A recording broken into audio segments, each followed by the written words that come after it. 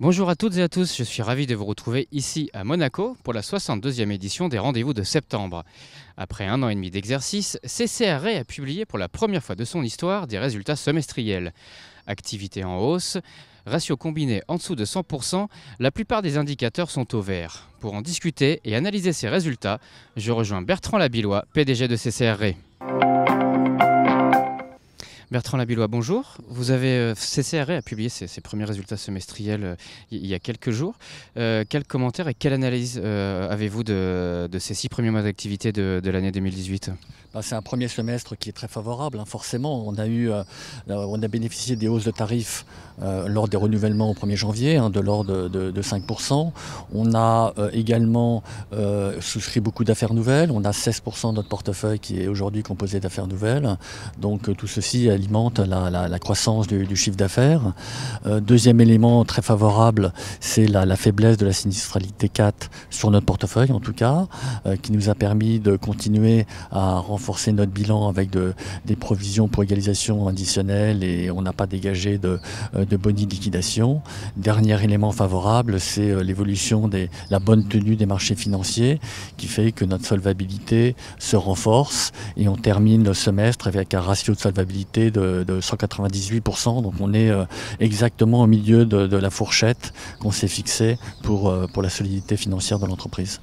Donc, au milieu de la fourchette pour euh, le ratio de, solvabilité, Qu'en est-il des, objectifs sur le plan que vous étiez fixé à la création de, ces CRE et quel atterrissage vous, vous prévoyez pour, pour la fin de l'année?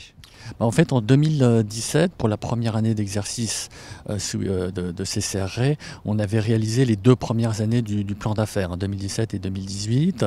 Et là, compte tenu des bons résultats tant en croissance qu'en profitabilité du premier semestre, on peut espérer que euh, sur l'ensemble de l'année 2018, on aura réalisé les objectifs de 2019 et 2020 du plan d'affaires initial. Donc on est très en avance par rapport à ce plan d'affaires qui, il est vrai, avait été euh, bâti de façon euh, très très prudente.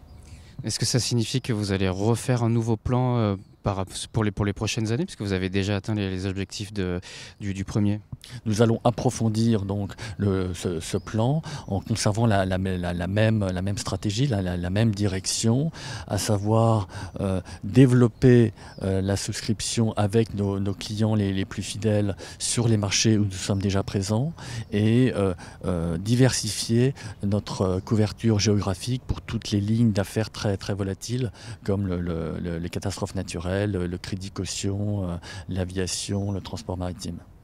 Alors justement, on l'a vu l'année dernière avec les événements qui sont euh, apparus dans les Caraïbes, les ouragans dans les Caraïbes et aux États-Unis, que le, besoin de diversification était important euh, chez les, réassureurs, hein, de ne pas être exposé trop justement à ce risque 4 dans cette zone géographique.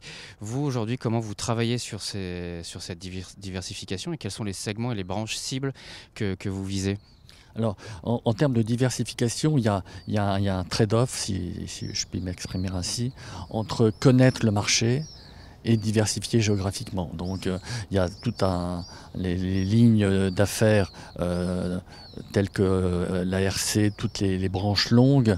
Là, on met la, priorité à la connaissance des spécificités juridiques et des particularités du marché de l'assurance plus que sur la, diversification géographique en tant que telle.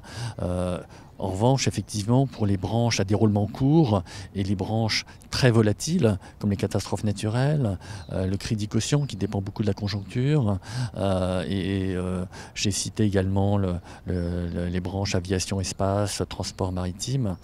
pour ces branches-là, on recherche la, diversification géographique, ce qui veut dire que nous complétons la souscription que nous réalisons sur les marchés où nous opérons par de la souscription avec des partenaires ou avec des courtiers euh, dans d'autres zones géographiques bien choisies et pour des volumes bien délimités pour avoir une vraie diversification sans pic d'exposition sur ces nouveaux marchés. Bertrand Labillois, merci.